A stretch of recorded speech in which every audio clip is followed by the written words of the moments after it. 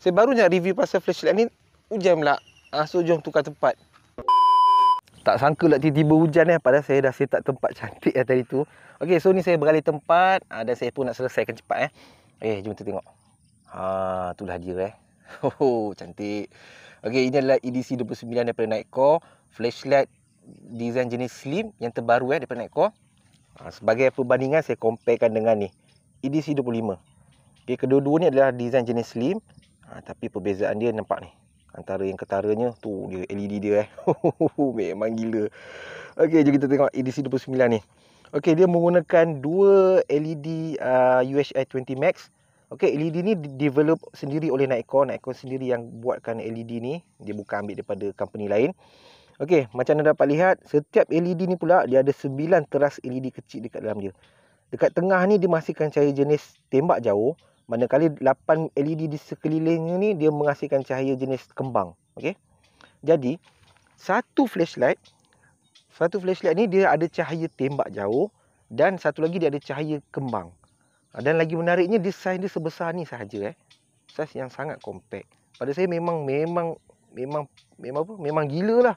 Sebesar ni dia ada dua cahaya jenis macam tu, dua type uh, cahaya dan dia punya maksimum output dia ni adalah 6500 lumen. Memang gila eh. Yang ni EDC 25 ni adalah 3000 lumen. Pada saya dah memang dah gila lah, memang terang gila. Tapi yang ni adalah 6500 lumen. Seolah-olah dua kali ganda lebih daripada EDC 25 ni eh. Memang gila. Okey, EDC 25 ni ini adalah flashlight harian saya memang saya bawa ke mana saja. Memang hari-hari saya pakai dia sebab saya rasa dia adalah yang terbaik lah. Okay dia nipis, dia ringan, bila masuk dalam poket tak terasa. Dan bila naik kau keluarkan EDC 29 ni, saya rasa ini lagi gila. lagi gila. Konsep perisai, dia punya design macam perisai eh, nampak? Nampak? Dia punya body tu macam perisai. Memang cantik.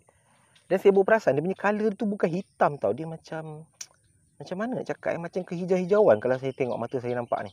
Yang ni hitam, ah, yang ni body tengah ni dia macam kehijau-hijauan sikit. Okay dan dia punya design ni adalah design anti slip. So anda pegang daripada daripada arah mana pun dia memang grip eh. Arah sini ke, kita pegang arah tepi ke ataupun contoh kita pegang macam nilah. Okey, pegang macam ni ke. Okey, dia semua dia penuh dengan grip eh. Saya ni di samping design dia pada saya memang cantik. Ha, saya tak tahu bagi anda macam mana. Pada saya memang cantik, memang perfect. Okey, antara features yang menarik lagi yang perbezaan ni dia ada screen OLED. Okey, skin OLED ni dia ada ada bagi tahu dia punya baterinya berapa banyak, uh, dia punya mode apa semua. Dan antara features yang menarik pada EDC 29 ni, sebelum kita on kita boleh pilih kita nak mode apa. Okey, sebagai contoh eh. Tengok eh, saya tunjukkan eh. Katakanlah 15, 100, 400. Okey, saya pilih mode high 1200 lumen eh. Tengok eh bila saya on. Okey, 1200 lumen. Okey, 1200 lumen eh. Kemudian anda kata saya macam okey saya nak baca dalam gelap lah, nak membaca peta dalam gelap contohnya. Okey, sebelum saya on, saya dah boleh pilih saya siap. Katakan saya pilih 15 uh, lumen eh. Contohnya eh. Okey, saya pilih 15 lumen. So bila saya on je, uh, terus pergi 15 lumen.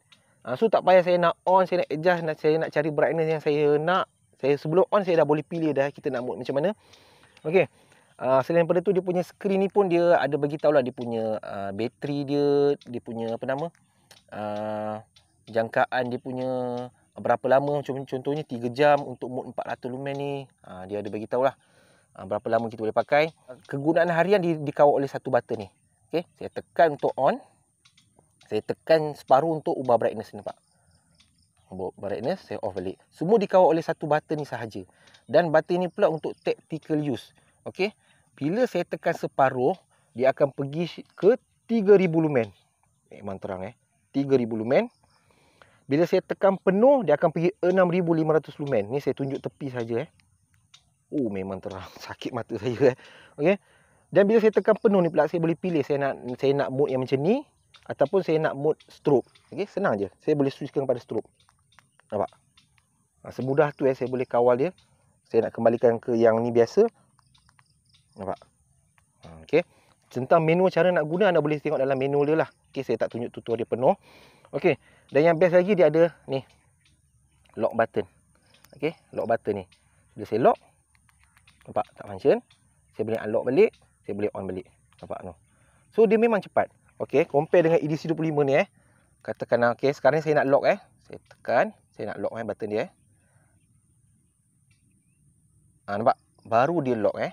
Dan bila saya nak unlock dia, saya akan tekan dua kali. Saya hold dulu. Okey. Baru unlock.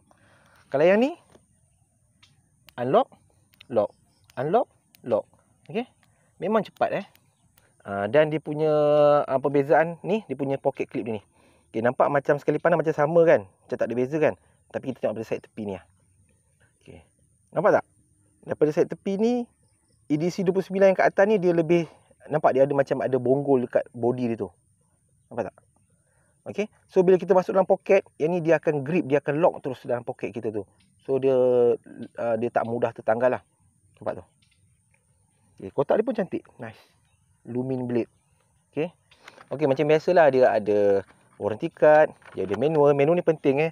Sebelum anda guna, anda kena baca dulu manual ni. Pasal manual ni dia bagi tahu segala detail macam mana nak gunakan dia. Okey, dia bagi C charging cable uh, dan lanyard. Okey, lanyard ni boleh pakaikan lah. Tapi saya tak pakaikan lagi. Uh, tapi nanti next time saya akan pakaikan. Saya akan buat dalam bentuk video short lah. Okey, video ni pun saya tak nak review panjang-panjang. Okey, ni lanyard dia. Okey, so tanpa cerita banyak, jom kita test pada waktu malam terus eh. Okey, jumpa malam ni.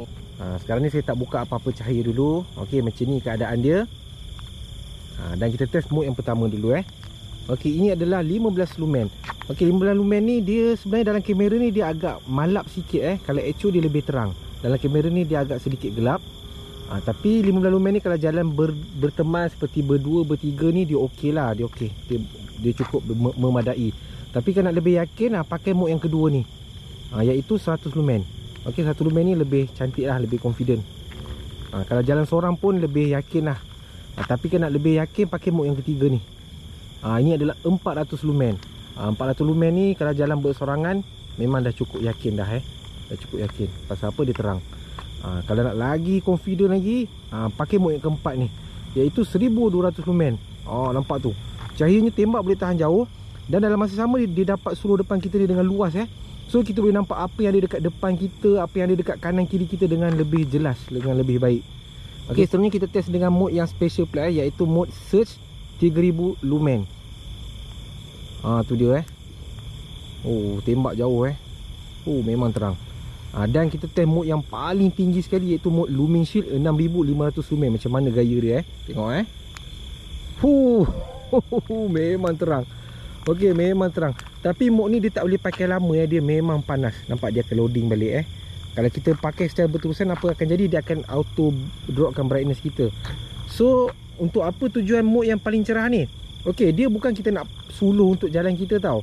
Untuk berjalan kita pakai mod Okey ni mod ni pun dah cukup terang eh.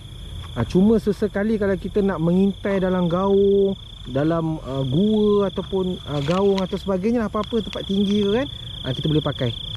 Nampak tau? Ha, Sesekali pakai boleh. Ha, Sesekali. Tapi kita bukan nak pakai selalu pun Pasal dia terlampau panas eh. Nampak? Ha, Kalau saya pakai juga Tengok apa jadi eh. Tengok eh. Tengok eh. Nanti nampak ha, Dia loading tu makin ber, ber, menurun Nampak? Ha, Dia dropkan brightness dia. Okey tujuannya dia nak protect flashlight kita daripada overheat. Okey? Overheat. Nampak? Dia, dia makin naik balik eh Meter dia tu. Ha, So saya boleh pakai balik. Ha, Kejap je. Nanti kan bila dia dah habis Dia akan auto reducekan brightness kita balik. Ok ni adalah mode high. Ok mode high ni sebenarnya dah cukup puas hati Dah cukup terang eh. Dah cukup jauh dah. Dan dah cukup luas Tapi sesekali kalau kita nak tengok lebih jauh Gunakan mode search. Dia lebih jauh eh. Nampak? Nampak? Ha, Dia lebih jauh. Ha, Ataupun kalau nak depan kita ni lebih terang betul Gunakan mode lumin shield. Oh betul-betul gila. Nampak tu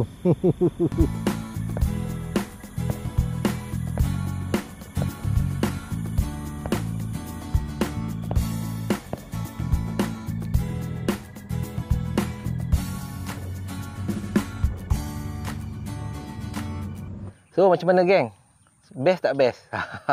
Pada saya memang best lah. Dari segi harga pun dia boleh tahan keras lah dalam 400 lebih lah. Okay. Uh, tapi dia punya solid dia tu memang solid. Design dia memang cantik. Okay. So sekadar tu saja daripada saya. Okay. Semoga bermanfaat. Uh, lain-lain video saya akan buat dalam bentuk video short pula nanti eh. Okay. Jumpa lagi. Assalamualaikum dan salam sejahtera. Bye-bye. Tengok eh. Saya review kat sini je. kat atas motor je eh.